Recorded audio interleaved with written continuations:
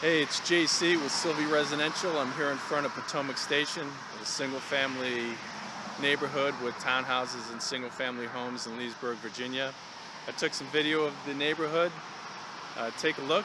If you're interested in seeing any of the homes or townhouses in the neighborhood, uh, feel free to give me a call. Always available.